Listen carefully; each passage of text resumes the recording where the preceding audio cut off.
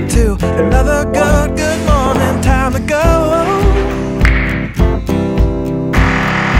Got that smile upon my face, cause there's excitement. What's up everyone, China Cycling, and this is my lazy inflator cheat kit, aka the lick, and I'm going to show you just how it works. So my cheat kit has two parts. The first part is this. This is a battery powered inflator, it goes up to, let me see, what's it go up to? 130, 140, 150 psi this bad boy goes up to. It's slow to inflate, but it gets the job done, and you don't need a pump. Charges via USB-C, super cheap. I'll put some links down below.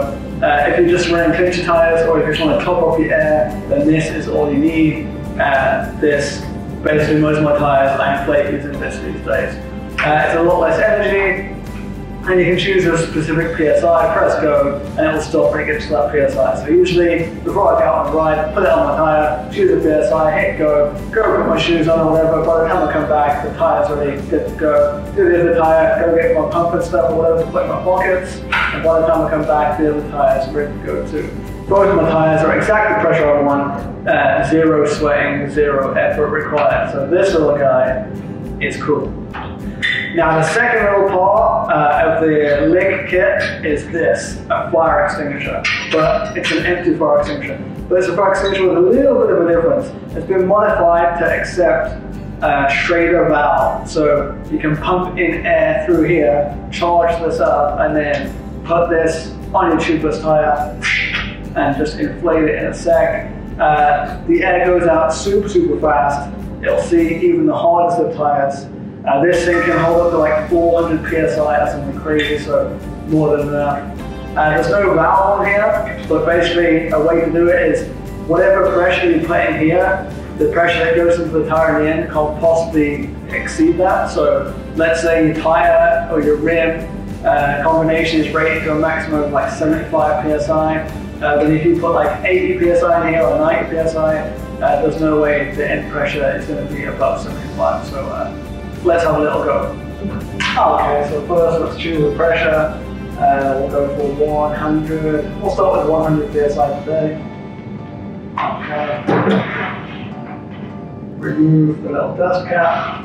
And so this pump works with Schrader or Presta valves, but the way it works is there's an adapter on there. So because we're using Schrader, we take off the Presta adapter, and then we can just screw on the Schrader directly.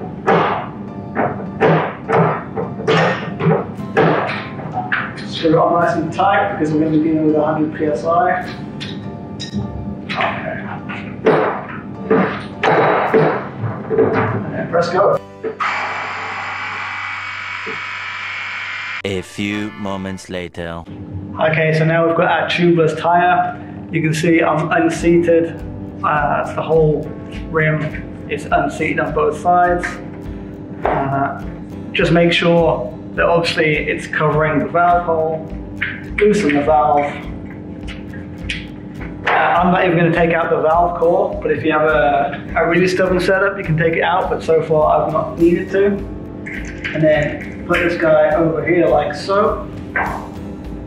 Press him on tight, but, and then three, two, three, two, one.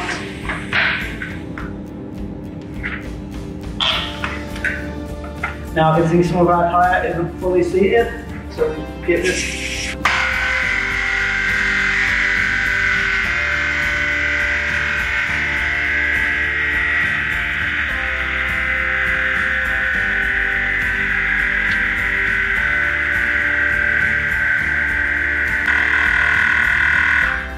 Ninety psi, that's enough.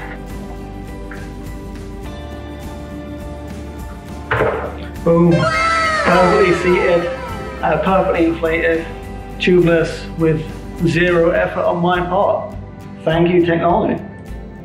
So just now that tire and wheel combination is actually super easy. I can seat it with a normal floor pump anyway. But this combination, this WDP tire, WTB tire always gives me, always gives me abuse. So as you can see, we're totally off the rim. Let's give this one a try.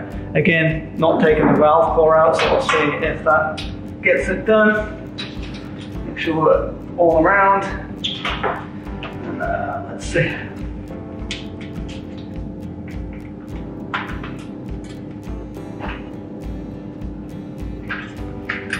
Three, two, one.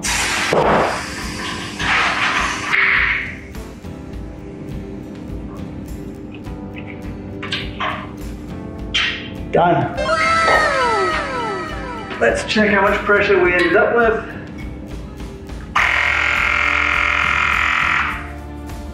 Yeah, so bigger tire, we started with 120 psi in there, and we ended with about 20 psi in here. So use this.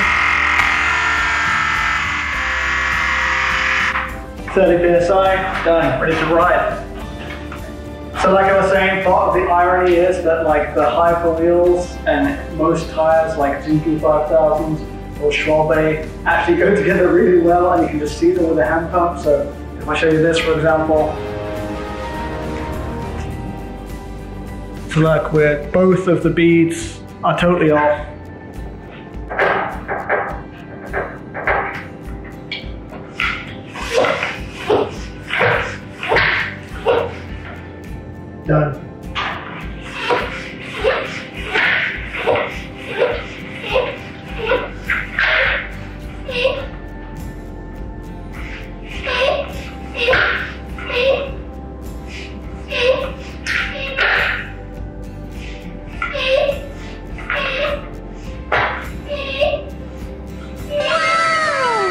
So yeah, if you have good wheels and good tires, a normal track pump will seat them easily.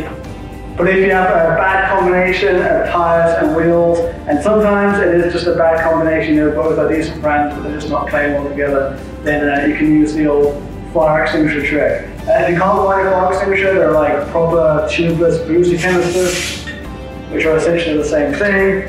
Uh, just probably a bit more like this cost me like 68 RMB, which I think is like what 12 bucks or something. So that works well for me.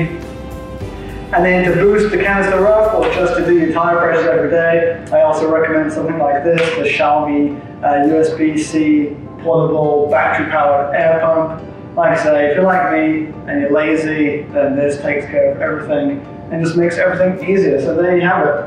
The, uh, the KISS the lick kit. Build one yourself, the link's down below. Uh, let me know what you guys are using. Let me know in the comments down below. There's always some good stuff there. If I see some good comments, I'll try and put them on the top. Uh, and yeah, China Cycling out.